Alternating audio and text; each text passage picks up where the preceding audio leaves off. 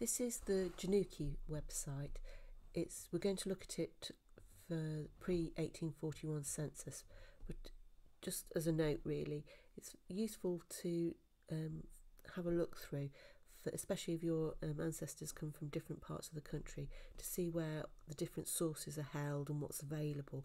So do have a look at that. It's a free website. Have a play around with it.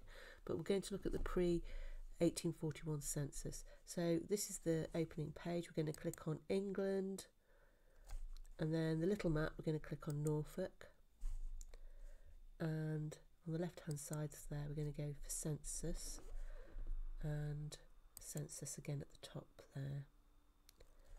So if we scroll down it says years available and we're going to look at the pre-1841 census there it comes up right at the top here um, and click on where it says census and similar lists were taken before 1841 it's a bit of a circuitous route but here we are.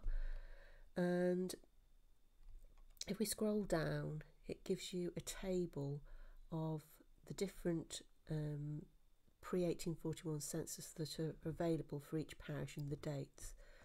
Um, so if you pick the one for Blakeney 1770 it gives you um, a name index some generous general notes and also a transcript as well.